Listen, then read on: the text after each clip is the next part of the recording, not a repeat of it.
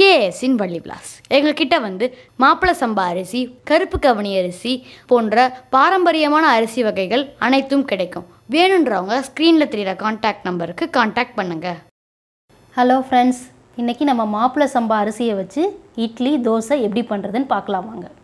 வாங்க இட்லிக்கு அரிசி அளந்துக்கலாம். நாலு உலக்கு அரிசிக்கு ஒரு உலக்கு உளுந்துங்க. இப்போ நாலு உலக்கு மாப்பிளை சம்பா அரிசி எடுத்திருக்கோம். நீங்கள் எதில் அரிசி எடுக்கிறீங்களோ அதுலேயே உளுந்து எடுத்துக்குங்க. நாலுக்கு ஒன்றுன்ற அளவுங்க. இதுதான் மாப்பிள சம்பா அரிசி. சிகப்பரிசி இதே மாதிரி தான் இருக்கும். நீங்கள் கடையில் மாப்பிள சம்பா அரிசின்னு கேட்டு வாங்கிக்கிங்க. இப்போ ஒரு உலக்கு உளுந்து அளந்துருக்கோம். அரிசியை நல்லா கழுவி அரிசியை தனியாக ஊற வச்சுக்குவோம். உளுந்தையும் அரை ஸ்பூன் வெந்தயத்தையும் சேர்த்து ஊற வச்சுக்குவோம். இது ஒரு ஆறு மணி நேரம் நல்லா ஊறட்டும்.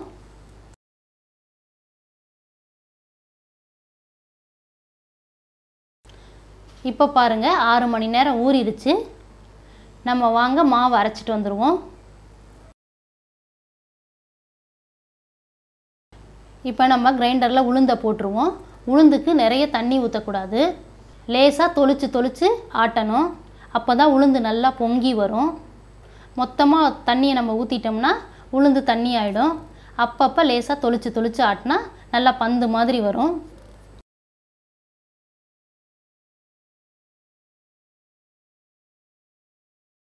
இப்போ உளுந்து நல்லா அரைஞ்சிருச்சு. தொட்டு பார்த்தீங்கன்னா வெண்ணெய் மாதிரி இருக்கணும் தொட்டு அவ்வளோ சாஃப்டாக தண்ணியில் எடுத்து போட்டிங்கன்னா அப்படியே தண்ணியில் மேலே மிதக்கணும் உளுந்து.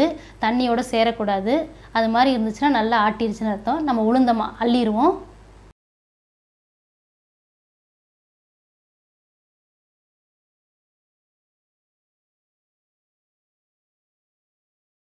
இப்போ எல்லா உளுந்தையும் அள்ளியாச்சு. அடுத்து அரிசியை போட்டுடலாம். அரிசியை நல்லா நைஸாக அரைச்சிக்குவோம். அரிசிக்கு கொஞ்சம் தாராளமாக நீங்கள் தண்ணி ஊற்றி கூட அரைச்சிக்கலாம். உளுந்துக்கு தான் லேசாக தொளிச்சு தொளிச்சு ஆட்டணும்.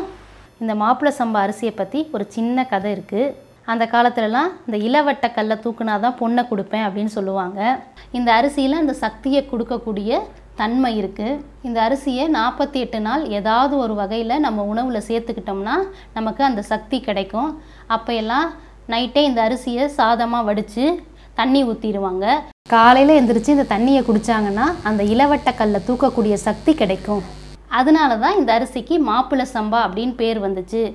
அதனால் வளர்கிற பிள்ளைங்களுக்கெல்லாம் இந்த அரிசியில் ஏதாவது ஒரு உணவை நம்ம செஞ்சு கொடுத்தோம்னா நல்ல சக்தி கிடைக்கும். நோய் எதிர்ப்பு தன்மை அதிகமாக இருக்கும். நான் ஓரளவுக்கு அரிசி அரைஞ்ச உடனே இந்த மாவுக்கு தேவையான உப்பை இதிலே போட்டுருவேன். சில சமயத்தில் கல் உப்பை போட்டு நம்ம கலக்கும்போது சேராமல் போயிடும். அதனால் நான் அரைக்கும் போதே போட்டுருவேன்.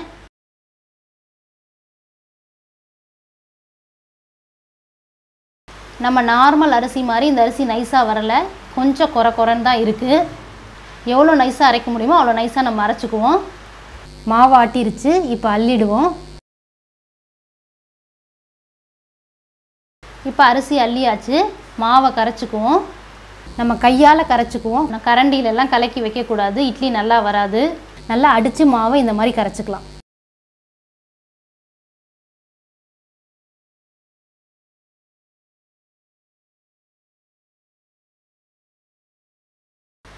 இந்த மாதிரி கரைச்சி வச்சுருங்க.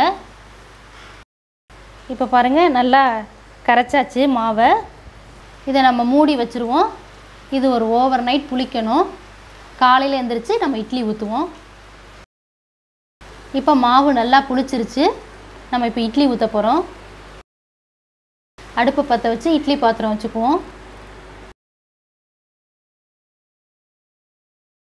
இட்லி தட்டில் இட்லி துணியை போட்டு தண்ணியை தொளிச்சுக்கோங்க.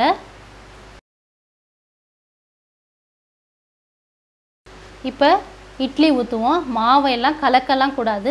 அப்படியே மோந்து ஊற்றணும் அப்போ தான் இட்லி சாஃப்டாக வரும்.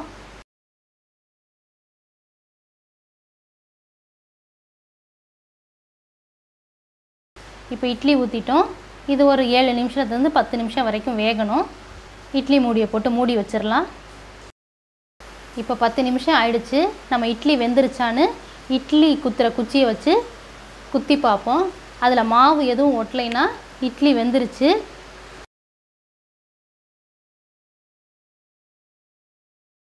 இப்போ நம்ம இட்லி தள்ளிடுவோம்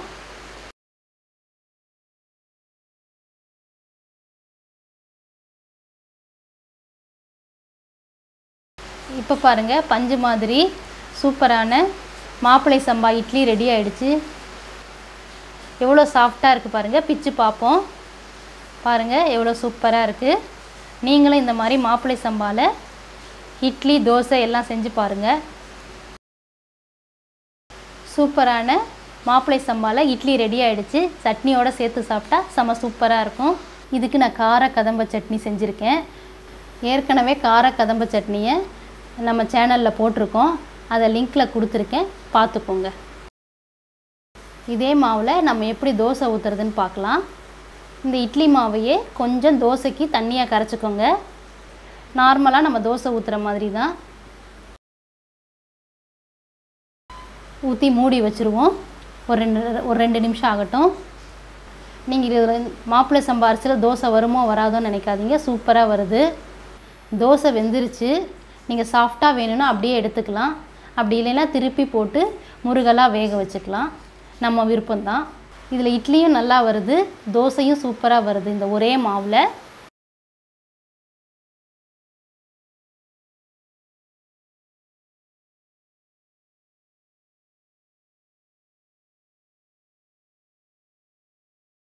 நான் ஒரு தோசையை முருகலாக வேக வச்சு காட்டியிருக்கேன். இன்னொரு தோசையை சாஃப்டாக எடுத்திருக்கேன். உங்களுக்கு எப்படி வேணுமோ அப்படி ஊற்றி எடுத்துக்குங்க. இந்த மாப்பிள்ளை சம்பா அரிசியில் சூப்பரான இட்லி தோசை ஒரே மாவில் எல்லாம் ரொம்ப நல்லா வருது. நீங்களும் செஞ்சு பார்த்துட்டு எப்படி இருக்குன்னு சொல்லுங்கள் கமெண்டில் போடுங்க. லைக் பண்ணுங்கள் ஷேர் பண்ணுங்கள் கமெண்ட் பண்ணுங்கள் புதுசாக பார்க்குறவங்க எங்கள் சேனலை சப்ஸ்கிரைப் பண்ணிவிடுங்க பக்கத்தில் இருக்க பெல் பட்டனையும் கிளிக் பண்ணிவிடுங்க